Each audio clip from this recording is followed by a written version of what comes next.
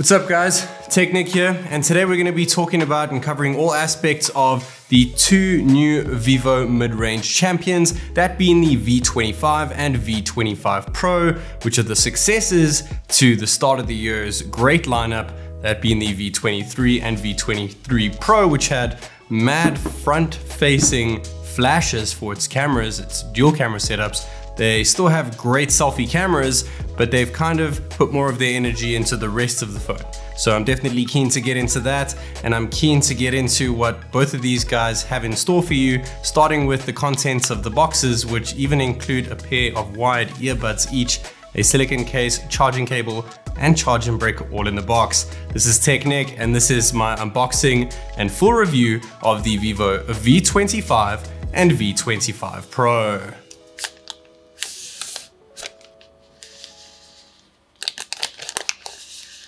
The Vivo V25 and V25 Pro start at 350 and $450 respectively, which in my opinion is more than reasonable in terms of what they actually have to offer. There are a few different color variants when it comes to each device. We have aquamarine blue, sunrise gold, and diamond black on the V25 and surfing blue and starlight black on the V25 Pro. I have the blue versions of both of them and both of them are color changing devices. They use the back fluorite AG glass and that with a mixture of UV light or sunlight for a couple of seconds and it changes the color of the back plates which looks absolutely fantastic. I actually created my own TechNick templates over here. I thought it looks quite snazzy. Moving on from the pleasing aesthetics of both of these devices and how they kind of have a chameleon-like aesthetic. They both pack in relatively large batteries at 4500 milliamps on the V25 and 4830 milliamps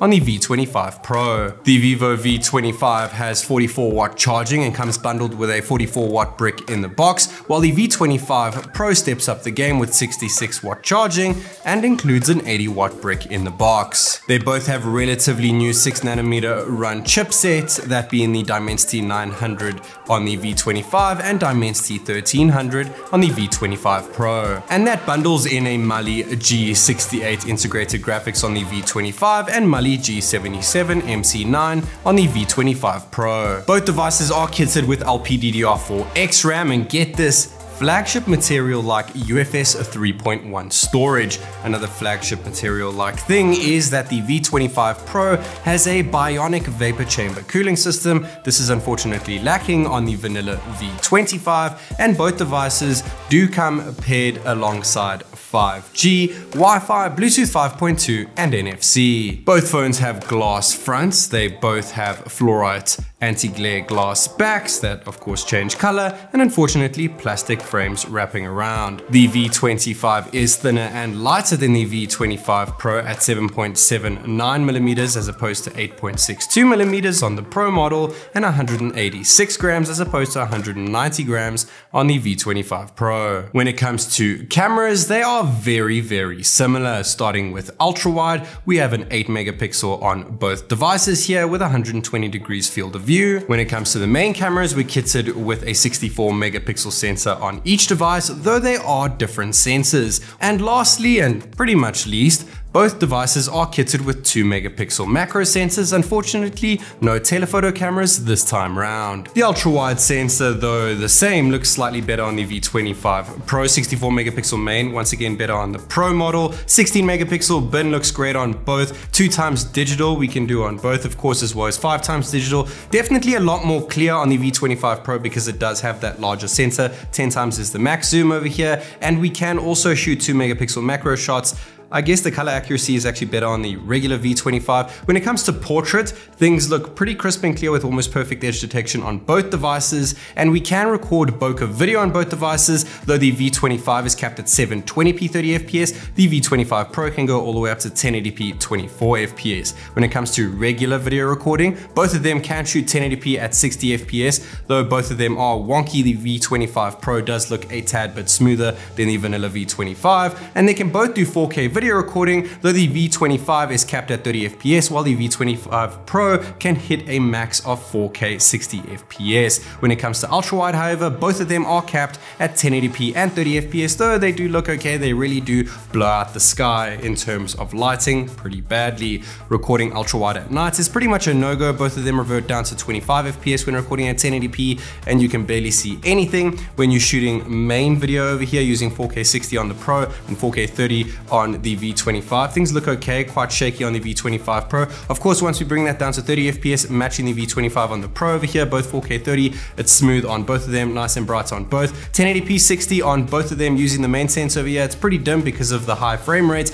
but dropping them down, we do have super night video on the V25 Pro, and the difference is huge compared to the regular V25, which lacks this feature.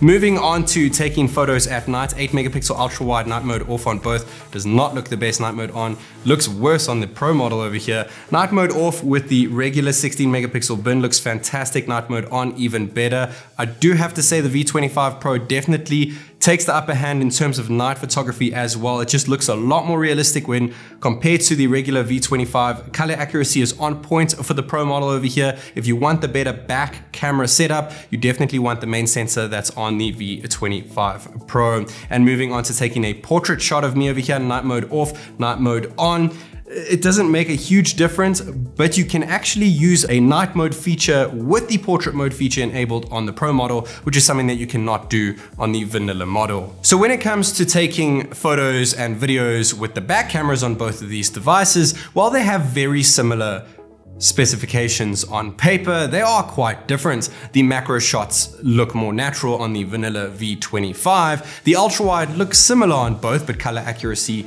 is better on the Pro model. And the Pro model's main sensor is by far better than that of the vanilla V25, especially when you're zooming in, it retains most of the detail. On the right side of the devices, we have power buttons above that, non-split volume rockers, and at the bottom, we do have dual SIM 5G, dual 5G standby trays Unfortunately, no expandable storage over here, though both of them are kitted with water resistant seals, even though they lack IP certifications. We have a USB 2.0 Type-C port at the bottom, as well as a single down firing speaker for both devices. and fortunately those huge earpieces at the top are not utilized as second speakers. When it comes to selfies, things are slightly more different as opposed to the back cameras. The V25 this time around takes the upper hand with a 50 megapixel snapper, as opposed to the 32 32 megapixel camera on the V25 Pro. The V25 can shoot at native 50 megapixel and the V25 Pro at native 32 megapixels, but while the V25 can bin down to 12.5 megapixels, the V25 Pro has no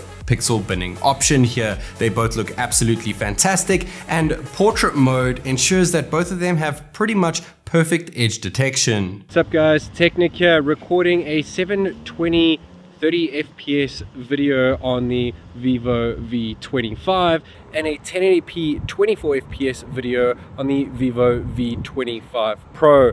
Reason being that they're different is because at the moment we're shooting bokeh video on both devices and this is the max resolution and FPS that you could do when shooting bokeh. So bokeh video might be different on these devices but one thing that is the same when it comes to selfie video recording is the fact that they can both shoot super smooth, super silky 1080p 60 FPS video. But something that the vanilla V25 has over its bigger brother the V25 Pro is the fact that the vanilla one with a better selfie camera can shoot 4K 30 FPS video whereas the V25 Pro is limited to just 1080p. Let me know what you guys think of the audio and video quality when recording using the selfie cams on the brand new V25 and V25 Pro. So selfie videos at night don't necessarily look the best, though we do have 4K 30 on the V25 as opposed to 1080p 30 on the V25 Pro. When we switch both of them to 1080p 60, it's extremely dark because of the high frame rates, of course, but we can drop them both down to 30, 24 FPS. Once again, we have super night video on the V25 Pro, something that's lacking on the V25, even though it has the better selfie camera. Night mode off in terms of photos over here. Looks slightly better on the V25, night mode on looks better on the Pro. Flash flash off, looks better on the V25 flash on. I would say looks more natural on the Pro over here. So things are a bit different when it comes to selfie photos and videos on both of these devices. The V25 actually has the better selfie camera this time around, even though it is not the Pro model. And the V25 Pro, while it still takes fantastic photos, caps video at 1080p 60 FPS, while the regular V25 can go all the way up to 4K 30 FPS. Powering on both devices, we get to the always, always on displays, and they look fairly nice and bright. And we do have under display fingerprint sensors. They are both optical, and many mid-range phones these days are sticking to physical fingerprint sensors. It's nice to see that Vivo is still keeping it under the screen. We also have 2D face unlock, which uses the selfie cams on both phones, and it does the job quite well. And when it comes to screens, things are fairly similar to the V23 series despite not having massive notches. We have a 6.44 inch AMOLED display on the V25 and a slightly larger 6.5 inch AMOLED display on the V25 Pro. They both have full HD resolution, though the V25 has a slightly higher pixel density. And while both devices have ditched the huge notches from earlier on this year in their predecessors models, the V25 still has a water drop notch and the V25 Pro now gets upgraded to a hole punch notch design. Once again, the vanilla model has a flat screen while the Pro model has a curved display. Both the V25 and V25 Pro support HDR10 plus content, not to mention they also have support for Netflix HD and HDR. But one of the biggest differences here is that the screen brightness can reach a max of 1300 nits on the V25 Pro, leaving the V25's brightness in the dust. Another big difference here is the fact that the V25 has a 90Hz refresh rate, same as its predecessor. The V25 Pro the V23 Pro, that being its predecessor, from 90Hz to 120Hz in terms of refresh rates. This is not an LTPO display, so it cannot refresh from say 1 or 10 to 120Hz, but it still has super fluid 120 Hz scrolling and 300 Hz touch sampling rate for that matter.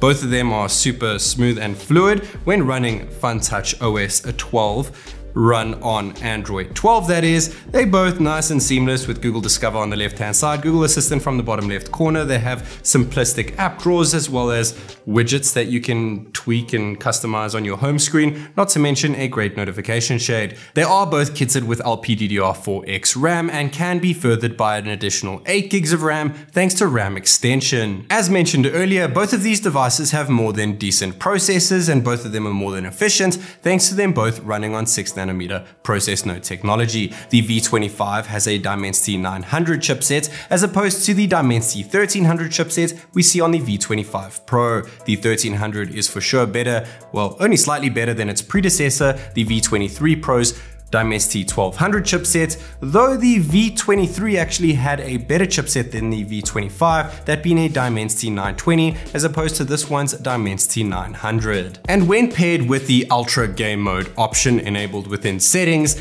and the boost feature enabled within that, we got an Antutu score of 463,146 on the V25, which is actually lower than its predecessor's score, and we got 709,094 points on the V25 Pro, which is only slightly better than the V23 Pro. When it comes to Geekbench version 5, the V25 got a single core score of 712, which is actually better than the V25 Pro single core score of 662 both of which were beat by the vanilla version of the V23 that we saw earlier on this year and the V23 Pro did slightly better than the V25 Pro.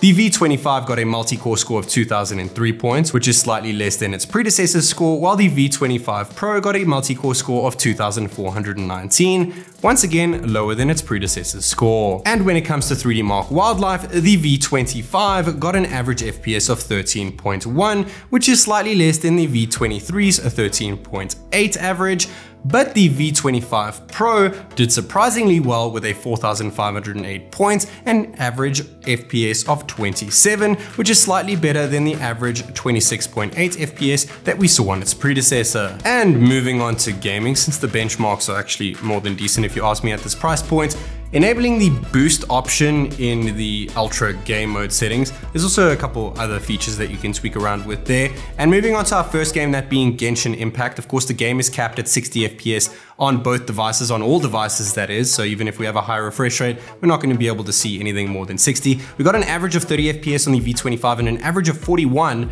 on the V25 Pro. That average on the V25 Pro is similar to flagship level chipsets, such as the Snapdragon 8 Gen 1 chipset. Moving on to Bullet Force over here, Ultra Graphics Max FPS. There is no frames per second cap on Bullet Force, meaning that we should be able to utilize the full refresh rate, that being 90 on the V25 and 120 on the V25 Pro. But the V25 Pro is capping it at 60 with an average of 59, while the vanilla V25 is reaching 89 frames per second on average, which is fantastic. When it comes to Real Racing 3, same thing can be said, while the V25 Pro is once again capping at 60 with an average of 59, the V25, the vanilla one with the lesser chipset, is getting an average of 88 FPS. Very weird, and I really hope that is fixed with a future software update in terms of the frames per second, reaching the max refresh rate on the V25 Pro. But what about speakers? Let's go ahead and test out the V25's speaker and then go ahead and test out the V25 Pro.